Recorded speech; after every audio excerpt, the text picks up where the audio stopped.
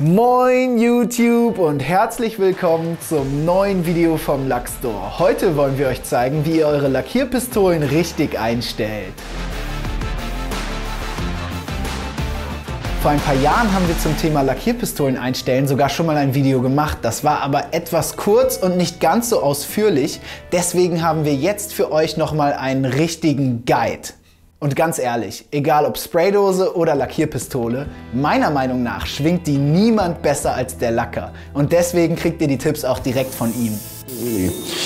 Aus unseren Kundengesprächen entnehmen wir häufiger, dass es durchaus Unklarheiten gibt, wie eine Lackierpistole einzustellen ist.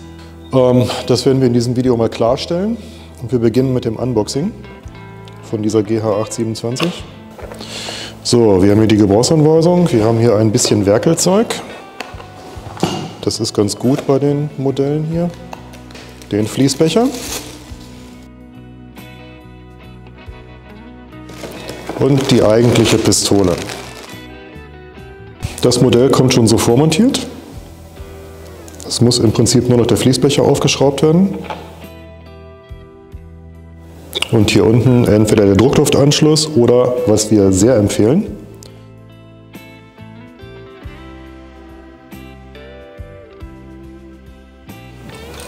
ein Manometer zum Einstellen des korrekten Spritzdruckes.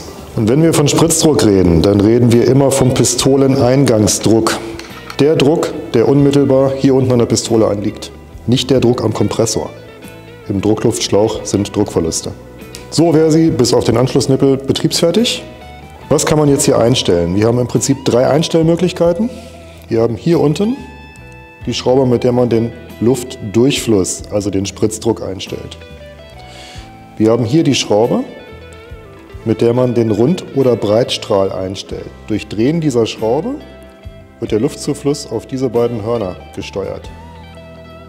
Wenn man den voll aufdreht, kriegen diese beiden Hörner voll Luft.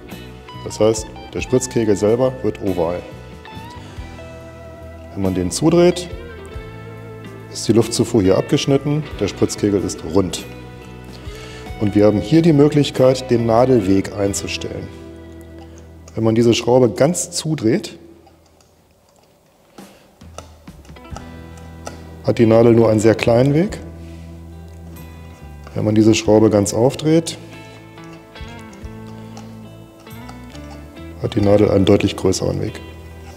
So, diese drei Einstellmöglichkeiten sind an jeder Pistole vorhanden. Einige Hersteller haben die etwas anders positioniert, die Schrauben. Das zeigen wir euch jetzt. Wir beginnen mit den Einstellungen. Der Spritzdruck, die Lufteinstellschraube. Bei diesem Modell ist es diese Schraube unten am Griff. System Iwata ist identisch.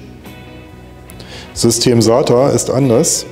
Da ist es diese Schraube hinten auf dem Luftkolben. Einstellung Grundbreitstrahl. Das ist bei diesem Modell die Schraube auf der Pistolenseite. System Iwata ist abweichend, da ist es die Schraube hier hinten. System SATA ist identisch, da ist es auch diese Schraube auf der Pistolenseite. Was bei allen drei Pistolen tatsächlich gleich ist, ist die Nadelwegbegrenzung. Die ist bei unserer Pistole hier, Iwata hier und SATA hier. Noch ein Wort zum Druckluftmanometer. Wenn man das an der Pistole montiert hat, ist es ungemein wichtig, dass man die Lufteinstellschraube an der Pistole voll aufdreht. Nur so bekommt man eine Aussage über den Spritzdruck, der hier jetzt gerade durchgeht. Die muss voll geöffnet sein, sonst funktioniert das nicht. Der Druck wird nur noch hier über dieses Einstellrad geregelt. Wir haben die Pistole jetzt aus der Verpackung genommen, zusammengebaut, einmal grundgereinigt. Das wäre sehr, sehr wichtig. Jede neue Pistole wird vor dem Zusammenbau einmal gereinigt. Wir haben den Druckregler angebaut. Wir haben die Lufteinstellschraube voll auf. Und jetzt liegt hier der Leitungsdruck an von etwa 12 Bar.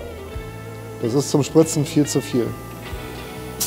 Wenn wir jetzt abziehen und damit den Luftkanal öffnen, fällt der Druck auf 1 Bar zurück. Ich regel den hoch, bis wir etwa 2 Bar haben. 2 Bar ist so ein Richtwert, mit dem man erstmal arbeiten kann. Alles andere ist dann situationsbedingt. Wenn ich jetzt den Abzug ziehe, passiert hier erstmal nichts. Pistoleneingangsdruck 2 bar. Bevor ich jetzt anfange zu lackieren, kontrolliere ich die korrekte Einstellung aller Schrauben an dieser Pistole. Bevor jetzt fröhlich auf dem Auto gearbeitet wird, wird bitte erstmal ein Probeschuss gemacht. Das kann man erstmal so in die Luft machen. Man kann anhand des entstehenden Spritzkegels schon sehr viel über die Einstellung der Pistole sagen. Ich ziehe jetzt einmal ab. Ich habe einen ganz geringen Nadelweg. Das ist viel zu wenig. Und ich habe einen sehr schmalen Spritzkegel. So wird das mit dem Autolackieren nichts. Also, ich vermute, Nadelwegbegrenzung ist zu, ist sie auch. Diese Schraube ist beim Lackieren immer ganz auf. Die Materialmenge wird nur über den Abzugsbügel reguliert. Der ist schon deutlich weiter.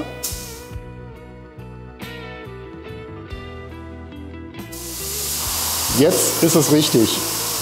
Ihr seht, der Spritzkegel zieht sich direkt hinter den Düsen auf, auf volle Stärke. So kann man lackieren. Wir haben jetzt die Pistole korrekt eingestellt. Der Pistoleneingangsdruck ist dabei um ein halbes Bar gesunken. Das müssen wir nachregulieren. So, jetzt sind wir noch bei 2 Bar Pistoleneingangsdruck. So können wir lackieren. Ihr seht, jede Stellschraube beeinflusst das Gesamtergebnis und alle Stellschrauben beeinflussen sich gegenseitig. Dies ist eine korrekt eingestellte Pistole. So soll ein Spritzkegel aussehen, wenn die Breitstrahlregelung voll auf ist.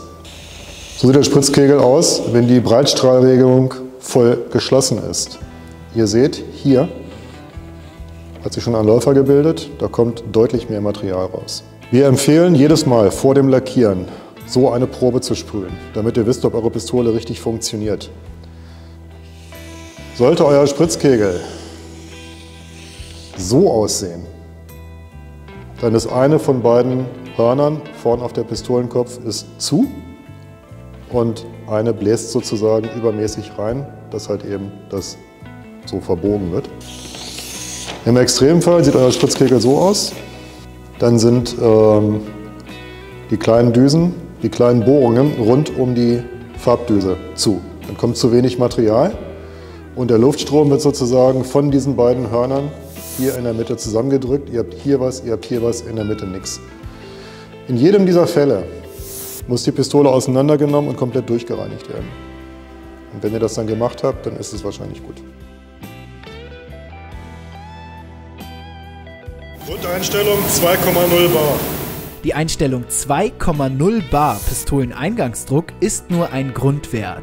Diese Einstellung ist für ein normales Autoteil, also Kotflügel, Tür oder kompletter Stoßfänger und eine normale Pistole geeignet.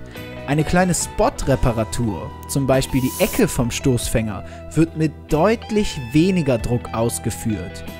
Hier gibt es keine Richtwerte, der korrekte Spritzdruck ist immer abhängig von der jeweiligen Situation, der Auswahl der Pistole und der Größe der Fläche.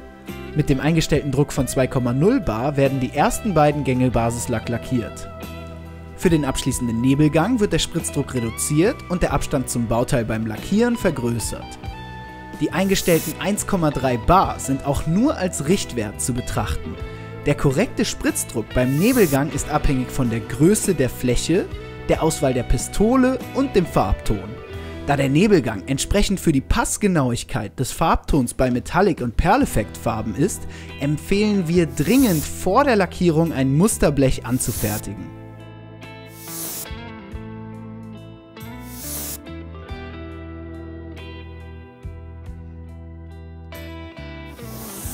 Und das war's für heute. Wenn ihr euch was abgucken konntet, gebt dem Video einen Daumen nach oben. Abonnieren und die Glocke drücken nicht vergessen, um kein Video mehr zu verpassen. Von uns aus heißt es wie immer Good Luck und bis zum nächsten Mal.